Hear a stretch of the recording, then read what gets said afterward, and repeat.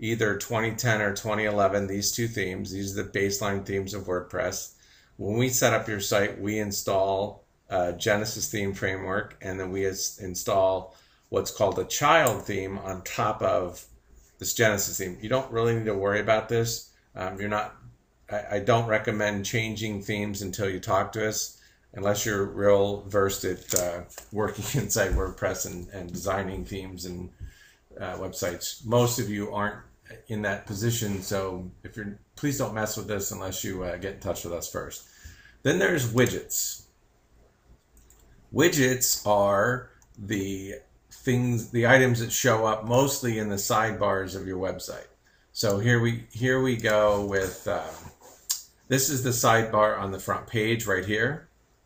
So she's got one, two, three widgets plugged in at the moment. So let's go take a look quickly at what those are. So primary sidebar, and this sidebar goes throughout her website. So you can see here, one, two, three. We have three text widgets.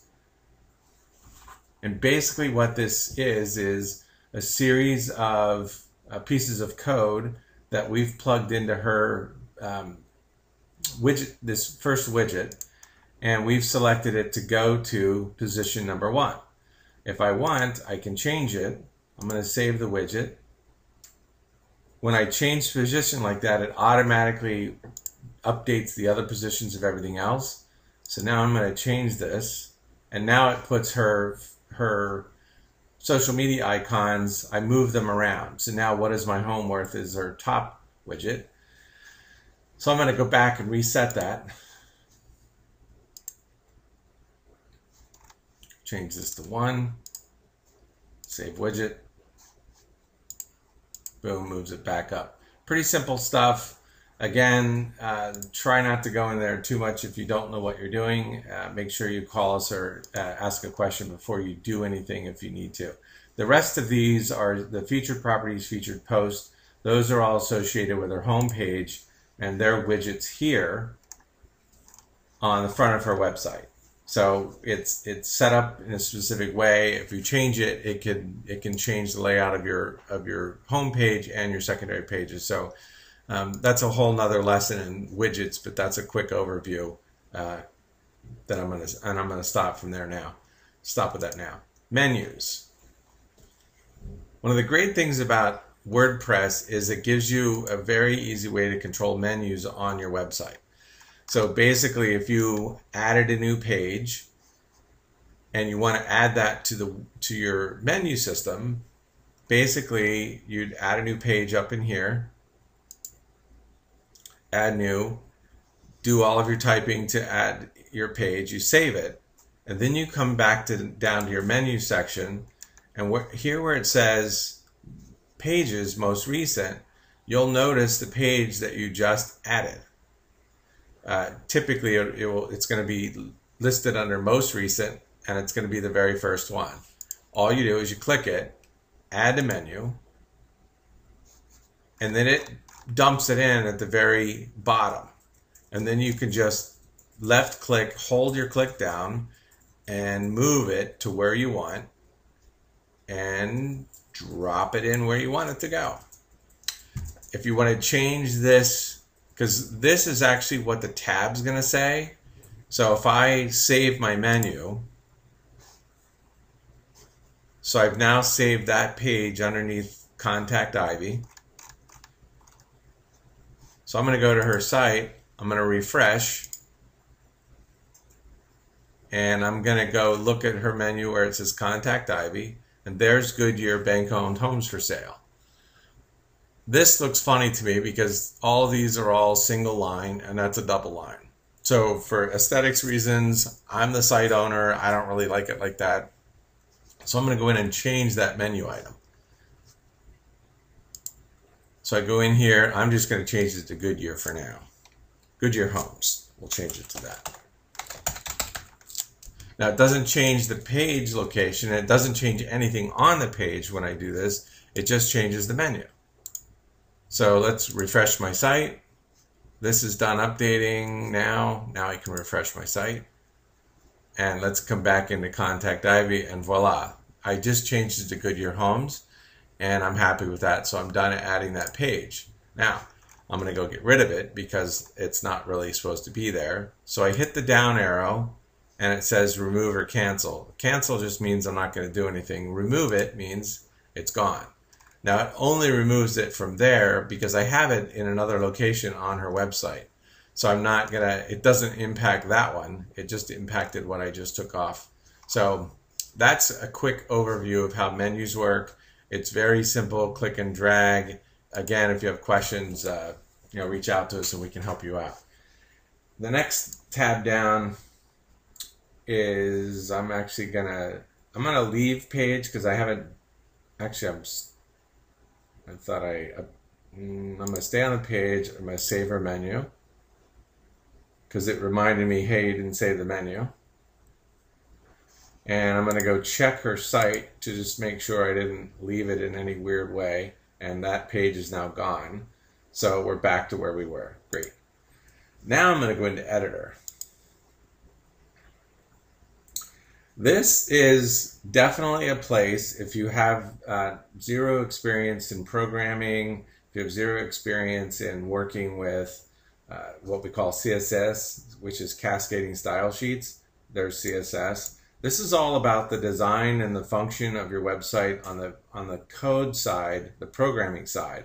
If you look at this stuff, there's it's it's just pretty hard to understand what this is about if you don't know what you're doing our recommendation is do not go into this area at all because you can quickly mess up your site and it could take us a while to figure out what you've done if uh, if you know depending on how detrimental you uh, messed up this this area. But there's different different feet uh, parts of the website in here that change how your site works and what it looks like. So please don't go in here and edit anything unless you really know what you're doing um, I rarely go in here myself. I usually look to the to the folks who get paid more than me in my company to uh, to, to program things. Anyway, I uh, I stay out of this as much. Now I do know a few things, but I generally don't try to mess with this too much. Now let's go into plugins. Plugins are different parts, different pieces to a website that help a website do its thing. So I'm going to look at installed plugins. And right now she this is bringing us up to update available. I'm not going to update this currently. And my recommendation is please don't update anything on your own. Uh, we do have somebody who does that uh, in our company, and their whole sole job is to properly update things. If you update your site, sometimes updates uh, don't go as planned, and you have to be able to figure out what happened because your site will go down if it if there's a if there's a glitch in the updating. And it just takes a, an experienced hand to rebound and, and get the site back up. But i'm going to go look at all the plugins. Actually i'm going to flip over to active plugins. Now these are all the plugins that are working. And uh, Akismet, this is one that stops spam. It should be working on your site when we turn it over to you. Uh, BackupBuddy is a manual or an automatic backup that runs on your site. Uh, some of these are different. Uh, well, these are all different plugins. Uh, Gravity Forms is the plugin that we gave you for the forms, the functionality there. WP Cycle, this one is on her front page. This is actually what's making her uh, rotator images on our front page go uh, or cycle through. That's that plugin. I mean, it's it's good to go in here and just kind of look and see, but again, you're probably not going to mess with this too much unless you know what you're doing because there are incompatibilities between plugins, and sometimes when you install plugins, the site will stop working, and you'll have to be able to know how to back out uh, what you did to get your site restored. So again, uh, if you don't know what you're doing, please don't uh, make any changes to your plugins. Um, users. This is an area to, this is where we set up usernames and passwords for different users. Um, again, this is where you would change your username and password. Please don't change your username and password if you don't let us, or if you do, let us know so we can make changes to our record so we can come in and fix fix work on your site as necessary. Now we've set up a couple of different um, username and passwords in here to give all of us um, different level or different access for different reasons. Sheila works for us and she goes in and does a lot of styling changes, etc. So we set her up with her own username and password. Anyway, uh, just a you know a place that you might want to go check things out. But if you make changes, please let us know. Tools, not much to say inside tools. In fact, I'm not even going to go into it. Settings, not much to say here other than um, when we're building your site, one of the things that's great about WordPress is we can block the search engines from coming in and looking at your site. It's a good idea to have it blocked until your site's basically done before you turn it on to the search engines. You can you can put it online, but you can keep the search engines from from crawling it by blocking it with this. So whenever we turn over a website, one of the checklist items that we go through is we come in and we turn in site visibility. We usually don't turn this on until the website owner says, "Okay, it's it's time to go live." So we'll click that and we'll go live with the site. Uh, general, some of these are um, the site title, AZ Home. A lot of this gets set up when we set up a website. Uh, I keep my email address in here, or uh, one of us keeps our an email, so we get notifications of uh, administrative problems with a website. You can change it and put your email in here, but then you would be responsible for communicating with us anything that anything that you get um, to your uh, inbox that specifically speaks to the administration of your site. Do not check this box. That'll allow people free uh, free ride on your website for entering blog posts, etc. You don't want to do that. The time zone. Uh, I'm actually going to flip this to indicate Phoenix.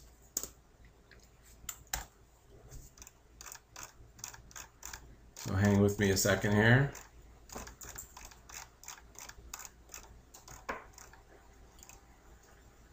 There, I'm changing that to indicate Phoenix. Uh, work week starts on on Monday. You can change that if you want to change it to Sunday. It does impact if you set up a calendar what day of the week your uh, calendar would start on.